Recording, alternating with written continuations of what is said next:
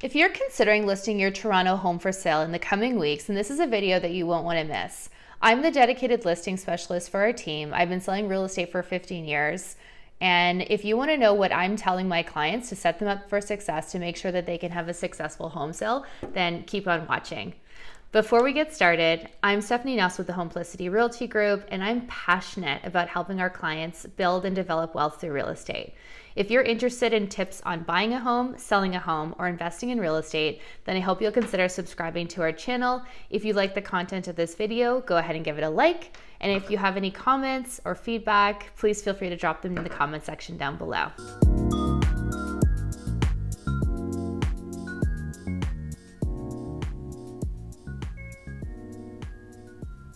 So let's talk about the market. We're definitely seeing a shift since the government's increased a lot of the interest rates. And it's nothing to panic about, but we do have to make some adjustments in how we're moving forward and helping our clients have successful listing and sales of their homes. If you've already had your home on the market and weren't successful selling it, then please go ahead and watch our other video on what to do if your home didn't sell. I'm going to link it up here. That's why I'm pointing. And we'll also have the link in the description down below. So that's another video that you might want to watch. So I guess the first thing to mention is that multiple offers are over.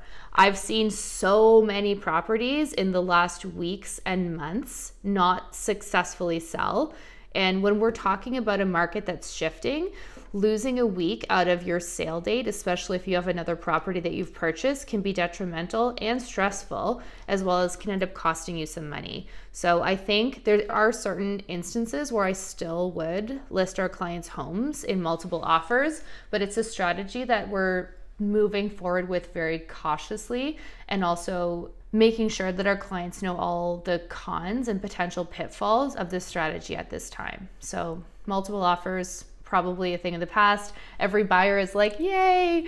But it was great for sellers while it lasted. I think the second thing that we need to address is that your home is going to take longer to sell. The days of putting your home on the market and selling it in a couple hours or having the multiple offer strategy we previously discussed and selling it in 7 days is probably going to be a thing of the past. I'm still seeing pretty reasonable days on market. So that's from the, the time that the property is listed for sale until it actually sells. We're probably looking between 14 and 20 days for condos and homes in the immediate downtown area, like kind of central downtown. Prices have gone down between 5 and 10% depending on property type and depending on location. A condo that was selling for 850,000 could potentially be selling for in the high 780s right now. So there definitely has been an adjustment as well as for the home sector. That's just something that you want to be aware of from an investment standpoint, if you're selling your investment, I'm happy to go over that. If you have any questions, you can feel free to give me a call and we can have an analysis on a case by case basis. But if you're also buying in the same market, the market that you buy in and the market that you sell in, it, it evens itself out. In fact, if you're trading up to a larger home, even if you're selling your starter home or your condo for a little bit less, the higher price point of the other home that you would be purchasing, especially if it's in the same kind of geographic area, you're probably going to find that the price point, like if prices are off by 5% on $2 million versus on 850, obviously you can see that you would actually benefit um, and it sort of evens itself out to your your benefit if you're purchasing another property. So that's just something to keep in mind as well. It's not all doom and gloom. The other thing to note is that we're going to have less showings and it's going to be spread over a longer time period. If you've sold a property recently in multiple offers or in the past few years, then you know that you could have had upwards of 60 to 100 showings, even potentially through your home, in condensed into one week. We're not going to see that typically moving forward. And I usually have a pretty good indicator if we have hit the pricing accurately if we're targeting between three and five showings a week. So if your property is listed and we're getting three to five showings a week, that's a pretty solid indicator that as of today, we are priced in the appropriate range. And then obviously we need to be monitoring other listings that are coming on the market and other properties that are selling just to see if any adjustments need to be made. But I would suggest that if we're hitting between three and five showings a week, then we're probably in the ballpark range of where we should hope and expect to be getting some offers.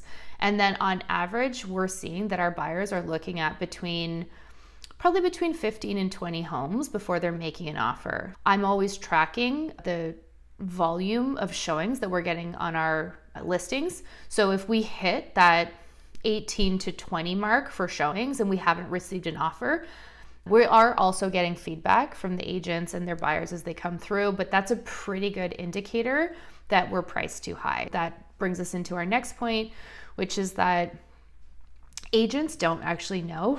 Like, I'll admit it, I'm excellent at pricing out properties. That's one of my skills. But right now, it's really hard for me to give an exact pinpoint number on what anyone's home will sell for. So it's more of an art instead of a science, if that makes sense it's really an educated guess until we get the property on the market. And that comes in the feedback of the amount of showings and interest that the property is generating, as well as if we're actually getting offers, because the best feedback is an offer. then you know someone's interested, and at least we can see where they're going to be coming in terms of pricing.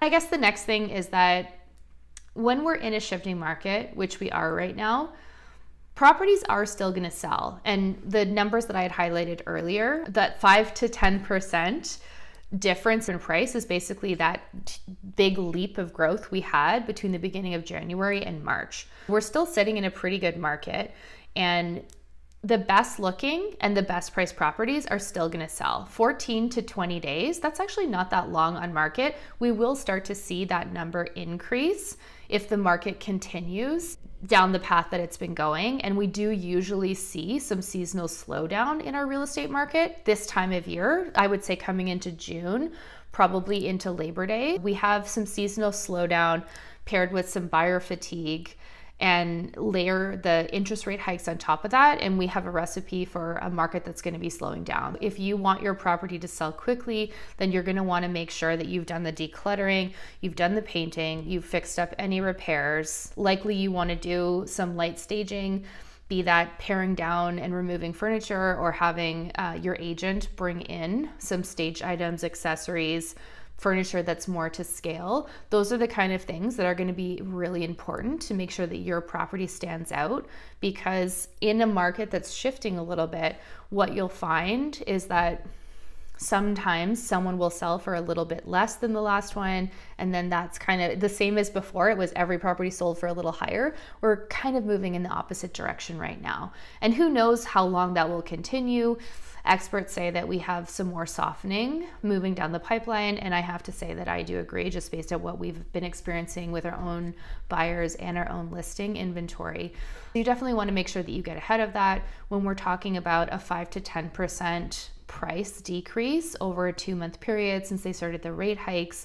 Well, that's almost 1% a month in some neighborhoods and some property segments. So every week that we don't hit the price right and we come out a little bit too high means that we're chasing the market down and we're probably going to end up selling for less. You know, you definitely want to make sure that you're in alignment with your agent on what's happening with the market. If you'd like some information on what your property would sell for or how to prep and prepare your property for sale, if that's something that you're looking to do in the next little bit, I'd welcome the opportunity to have a conversation with you. You can either text, call, or fill out the home evaluation form in the link in the description bar below. Until next time, thank you so much. Have a great day. And don't forget to subscribe, like, and share our channel.